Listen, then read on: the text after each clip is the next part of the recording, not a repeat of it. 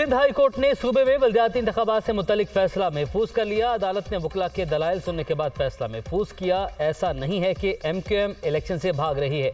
जमात इस्लामी और P T I चाहती है किसी तरह इलेक्शन हो जाए। वोटर लिस्टों की खामियों को दूर किया जाए। फाजा इजहार, वसीम अख्तर और दीगर रहनुमाओं की मीडिया टॉक।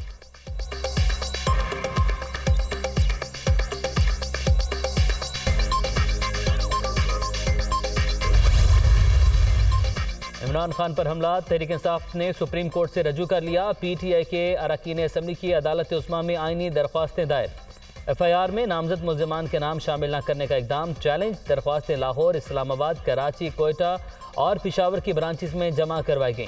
आज़म सवाती के वाक़े पर कार्रवाई और अरशद शरीफ के पसमानदगान की दादरसी की भी इस्तदा। तमाम वाक़ात की तहकीकत के लिए जुडिशल कमीशन कायम किया जाए। अरकान असम्बली का अदालत से मुतालबा।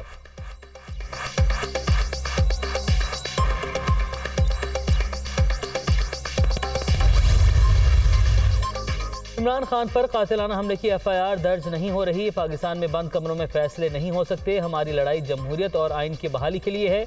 रजीम चेंज से पाकिस्तान में अदम इस्तेकाम पैदा हुआ। फवाद चौधरी। दरख्वास्त की है, सुप्रीम कोर्ट जुडिशल कमीशन तश्कील दे। तमाम पाकिस्तानी जानना चाहते हैं, हकीकत क्या है? आज़म सवाती की तजहीक की गई। जिम्मेदारों की निशानदही की जाए। शाह महमूद कुरेशी की media talk.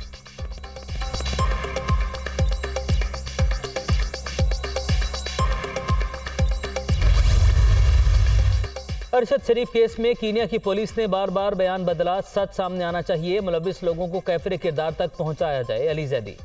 इमरान खान पर हमला, बड़ी सोची समझी साजिश थी। इम्पोर्टेड हुकूमत अपनी आखिरी सांसों पर है, बेरोजगारी बढ़ रही है। नए इलेक्शन का ऐलान किया जाए।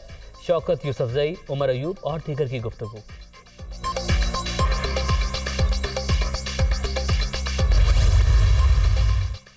फैसलाबाद के इलाके चक झुमरा से पी टी आई के लॉन्ग मार्च का आज आगाज़। मुख्तलिफ़ इलाकों में हकीकी आज़ादी मार्च के इस्तकबाल की तैयारियाँ। इमरान खान ने कौम को झुकने नहीं दिया। बुजदिलाना कार्रवाइयों से डरने वाले नहीं, हौसले बुलंद हैं। वज़ीर मवासलात पंजाब अली अफजल शाही का कारकुनों से खिताब।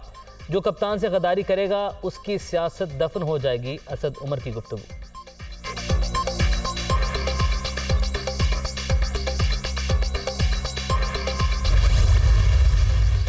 साजिश का बयानिया गुजर चुका। अब अमेरिका पर इल्ज़ाम नहीं लगाता। तहरीक इंसाफ की हुकूमत के खात्मे से मुतलिक मामले को छोड़कर आगे बढ़ चुके हैं। इकतदार में आए तो वाशिंगटन समेत सबके साथ अच्छे ताल्लुक बनाएँगे। इमरान खान का फाइनेंशियल टाइम्स का इंटरव्यू।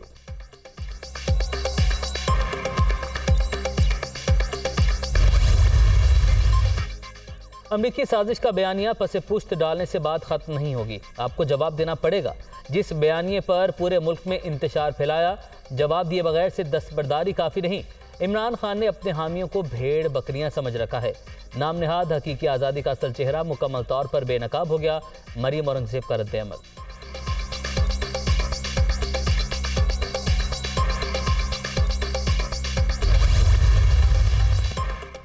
यूटन खान ने अपनी दोहरी सियासी तारीख का सबसे बड़ा यूटन ले लिया। बैरूनी साजिश का ढोंग रचाकर पाकिस्तान को सिफारती नुकसान पहुँचाया। ऑडियो लीक में ज़ाहिर हो चुका इमरान का बयानिया झूठा और मन घड़त था। कौमी सलामती के मामले का इमरान खान को हिसाब देना होगा शरीर रहमान।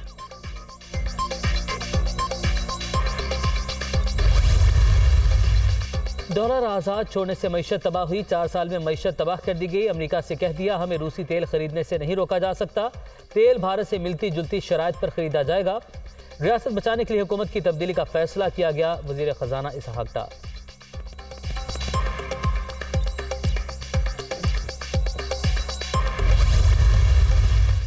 इस्लामाबाद के ताजरों की सड़कों की बंदिश के खिलाफ केस की समात इस्लामाबाद हाई कोर्ट ने आइंदा समात पर आईजी को तलब कर लिया। पूरे इस्लामाबाद में कंटेनर ऐसे पड़े हैं जैसे कोई और ही हालात हैं। अच्छी सी फोर्स क्यों नहीं बनाते? कंटेनर क्यों लगाते हैं? कंटेनर लगाने के बजाय कोई और तरीके इस्तेमाल क्यों नहीं करते? चीफ जस्टिस आमिर फारूक के रिमार्क्स।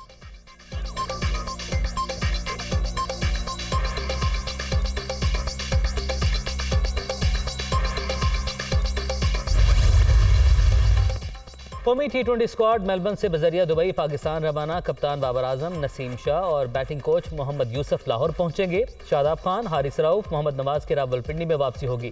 मोहम्मद रिजवान, वसीम जूनियर और इफ्तार अहमद पिशावर जाएँगे।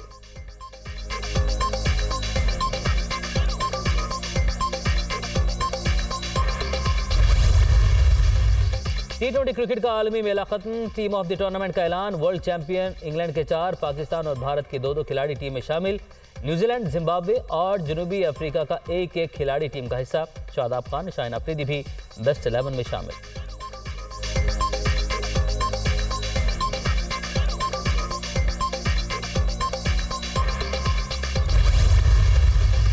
और लाहौर, इस्लामाबाद, गुजरावाला, फैसलाबाद समेत पंजाब के मुख्तलिफ़ शहरों में मौसम सरमा की पहली बारिश। सर्दी की शिदत बढ़ गई। मुल्क के बाला इलाकों में भी पहाड़ों पर बारिश और बर्फबारी का सिलसिला जारी। सवाद गलियात मालम जब्बा, मेंगोरा में भी बादल बरस पड़े। गिलगित बल्दिस्तान और आज़ाद कश्मीर के सयाहती मकाम पर बर्फ़ के गोलों की बरसात, सर्दी में इजाफा